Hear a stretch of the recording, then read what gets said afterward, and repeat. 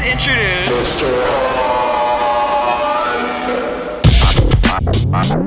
Let's